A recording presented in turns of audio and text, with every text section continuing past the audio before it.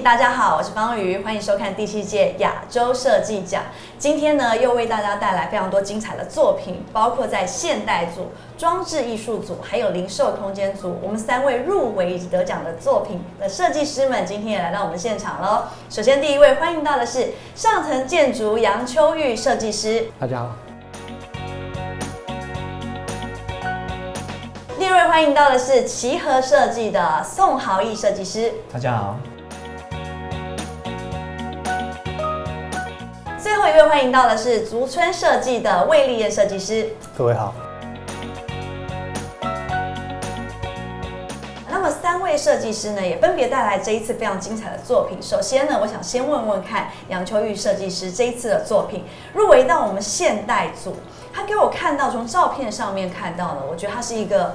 如果是歌手，应该会非常想去拍 MV 的一个地方，很吸睛。请问一下，它是做什么样的用途呢？嗯，这是一间民宿，嗯，它的名字叫做黑色。那因为它在宜兰乌石港旁边。哦。有海有山，如果你去过那边，就知道那边是黑色的沙滩。对，所以黑色是我们一个发想的一个主题。是。那在海浪海边上不是很多海滩的泡沫吗？对对对，浪打起来的泡沫。是的，所以泡沫也是一个我们空间发想的一个一个概念。所以你可以看到立面上有很多圆圈圈。对对对。对，就是它它的造型非非常的特别。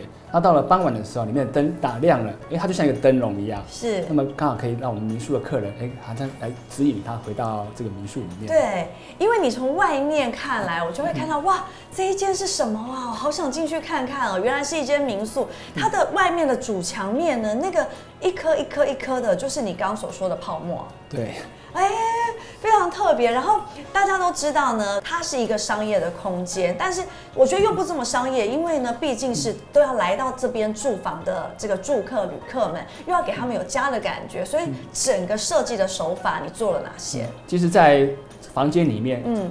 如果说你住进去后，你会发现说，哎，我们有一面墙，大大小小光影的变化。随着时间，其实你可以在那边很放松，感感受到那个时间的流动。嗯。那我们有一个大阳台，这样那当然是非常隐私的，所以客人其实可以在那边很轻松、很放松的。嗯嗯。那我们最主要创造这样的空间氛围。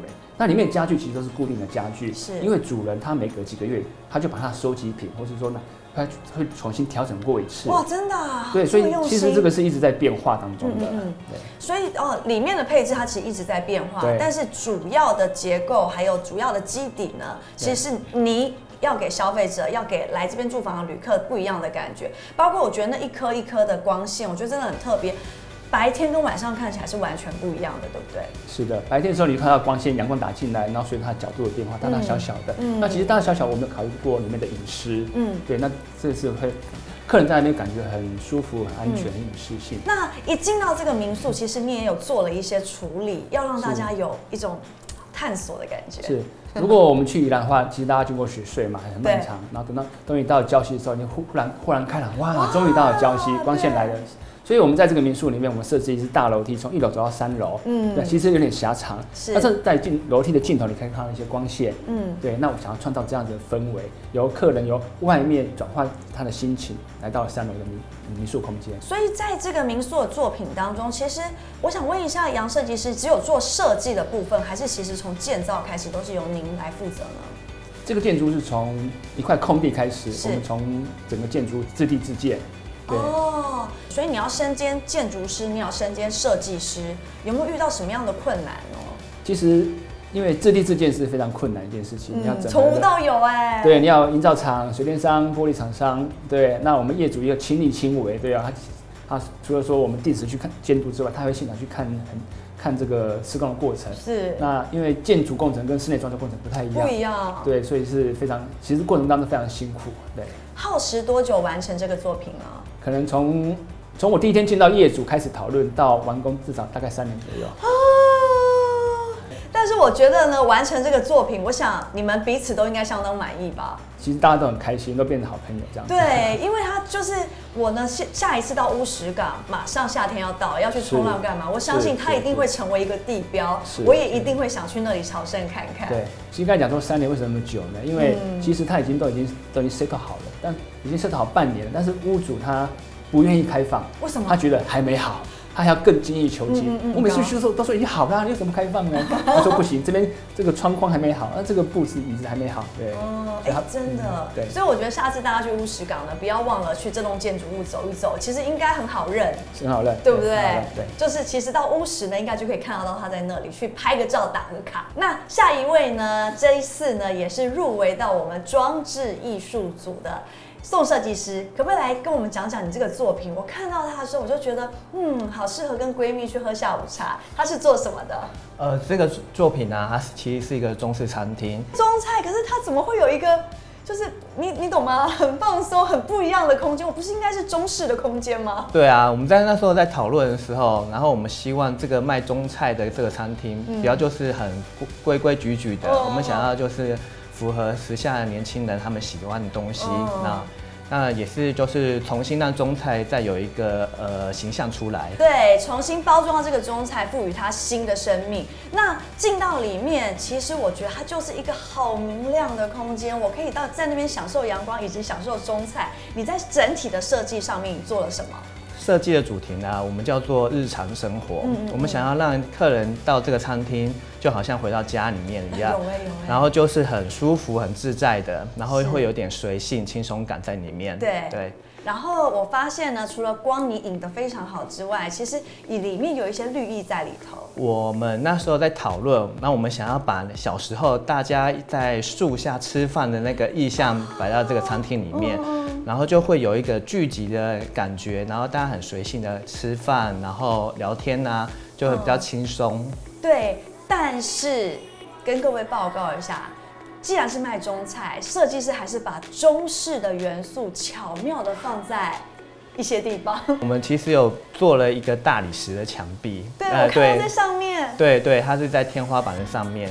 那我们想要用这大理石，然后配上金色的一些灯具，嗯嗯嗯然后制造一个呃有气质的效果出来，也看起来比较细腻。那个大理石的感觉，其实你远远看，你会觉得好像泼墨画的感觉。对对对对，它就是有一点有中式泼墨山水画的感觉在这里面，那也符合这个中式餐厅的一个形象。没错没错，刚好呼应到了。但是呢，说到这里呢，你看我们都知道商业空间就是要赶快开店做生意，所以在整个装修的预算上面，其实都是比较有限的。那你怎么可以用食材啊？哦，其实那个食材，其实它并不是食材，因为我们它挂在墙壁上面，我们嗯又希望它有一点泼墨的效果，又带一点穿透性。但是它不是食材，那它是什么？它其实是做输出的效果在上面，对。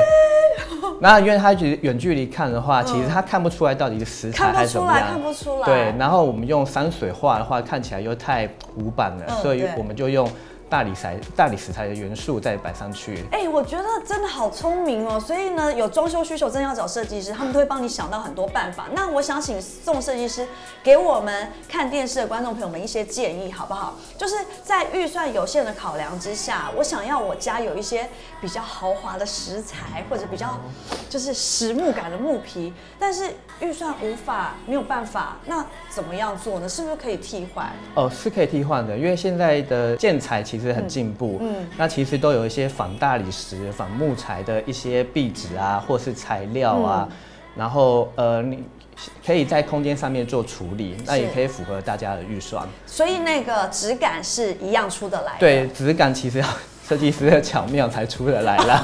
对，所以对，没有错，还是找设计师好好的帮你挑选，你那个质感呢可以控制在预算之内，但是呢质感又跳脱出来了。对对那么最后一位呢，我们要访问到的是魏设计师了。这一次他的作品不但入围了我们的零售空间奖，而且还得到了优良设计奖，恭喜恭喜！看到照片呢，我知道这个零售空间很明确的，它就是服装店，对不对？对，那当初屋主找到你，业主找到你呢，他是有什么样的需求呢？他其实开这间服装店，他第一个选到的位置就在瑞丰夜市。哦哇，啊，那瑞丰夜市周遭大多数都是比较呃，第一个它面宽比较小，嗯啊对对对小第二个它环境布置啊各方面都比较凌乱。嗯嗯嗯，那业主希望他的店格能够创造出跟周遭环境是不一样的，不一样，嗯。对。但除此之外，他就没有任何想法。但是我觉得它的面宽非常的宽，要找到这个店面，其实这样的条件不容易哎。是它其实是两个店面，哦双店面。那但是它的问题就是说，它这个店面面宽一大一小。哦，对，所以我们在整合它，要让它看起来像一个大店面，其实是花了一点力气，因为它面宽完全不同，然后它室内的高度哈，两侧也不两间有高低差，对有高低差，所以嗯我们在一入口的地方，我们又创造了一个新的空间，嗯。那算是一个过渡吧。嗯。我们希望他进客人进入到真正的室内之前，他通过的那个通道的玄关，能够先让心情哦稍微静一下，嗯，哦不会受外界纷扰，对，因为夜市通常会比较嘈杂，对，比较混乱一点。嗯嗯嗯。对，另外一边的空间比较大的那个空间，嗯。我们就顺势让它变成一个有空间感的橱橱窗。呃是是是，对，那在那边做的展示，它可以比较有深度，嗯比较有立体感，对比较有空间感。我觉得它的店面处理的非常漂亮，所以呢，你走过去，你很难不被它给吸引住，进去逛逛看有没有什么好货。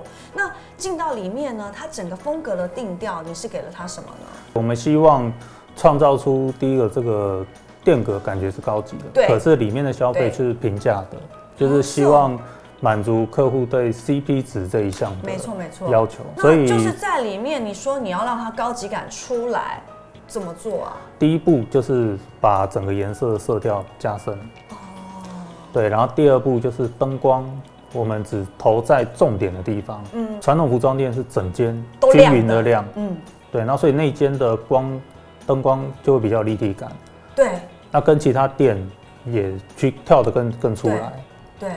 对，反而暗反而会变成一个最显眼的要素，而且我觉得里面它统一的色调，我觉得完全是可以烘托这些衣服的质感的。是因为我们背景色全部用深灰色、嗯嗯嗯，特殊的涂料哦来做处理，是对，那也呼应了布料本身有各种不同的肌理，所以我们在涂料的处理上，它有呃因为光线角度、嗯哦观看的不同，所以它肌理会有一些不同的变化。对，加上我发现你有用一个好特别的吊衣服的东西，那个好可爱哦。对，因为整个空间哈，呃，处理起来有点闷，所以我们希望说有些地方希望给它一点亮点，嗯。所以我们在吊架部分就使用湖水蓝，嗯。就 Tiffany 蓝的皮带，嗯，哦去做从天花板垂吊下来，再吊着我们的吊衣杆。所以你看到那个吊衣杆掉下来的，其实都是一个湖水蓝的皮带。对所以我觉得这个小巧思呢，也为这个很高级感的空间、比较沉浸的空间呢，其实添加了一些亮点。是，然后让你整个感觉，哎，它在夜市的附近，我可能去吃吃喝喝的时候，我可以到这个比较高级的店面来看看呢，CP 值很高的服装。我知道呢，为设计师这一次呢，不但有这个作品得到了我们零售空间的优良设计奖，其实呢，你还有其他的作品呢，其实也入围到我们的奢华组。可不可以跟我们讲一下？就你来讲，其实什么都可以做，你其实没有固定会做哪一种风格，其实什么样的风格呢，你都是没有问题的，是不是？哎、不能说没有问题啊，只是说。呃，碰到不拿手或者是没有接触过的风格或要求，嗯我们就是努力的去要去研究挑，战要去研究，对对对。然后再来整个呃，就你来讲，设计到底是什么呢？根据遇到不同的业主，可能是有商空、有住宅的空间，然后甚至于他可能是呃有奢华需求的业主，每一种不同的业主，你要怎么样满足每个人的需求？你一路走来这条设计的路，你怎么样就是去满足每一个不同业主的需求呢？是我设计对我来讲，中心思想就是解决问题。嗯嗯那解决问题的同时，我会希望用美感做依归。嗯，美感，嗯对，这是这是我的中心思想。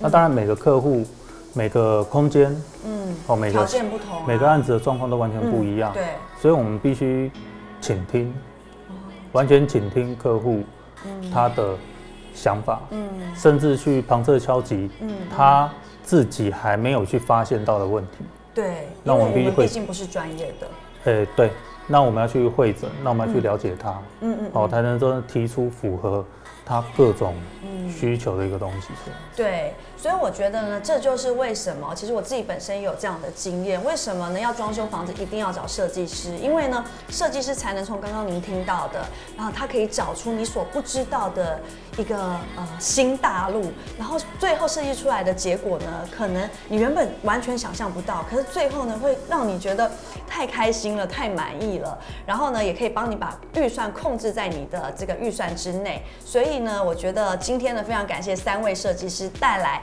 这三个非常的精彩的作品。如果呢你们还想要知道更多入围以及得奖作品，不要忘了继续锁定我们的奖空间奖设计。谢谢大家收看，拜拜。谢谢，拜拜。